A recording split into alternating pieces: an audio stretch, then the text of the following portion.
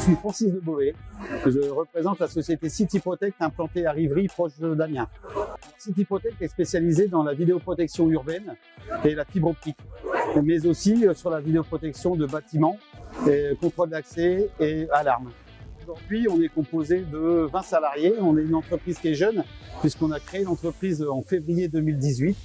Nous étions trois. Euh, et aujourd'hui, on est 20.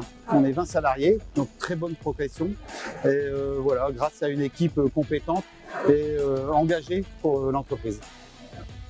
Sur ce salon, c'est notre deuxième édition. On est venu déjà la première fois, et ça nous a permis en fait de rencontrer les clients que nous avons déjà, mais également des nouveaux clients donc euh, je suis vraiment favorable euh, à ce, ce, type de salon. Et d'ailleurs, euh, j'ai déjà euh, euh, programmé notre présence l'année prochaine. Notre slogan pour être bien protégé, choisissez City Protect. Avec City Protect, tout est impeccable.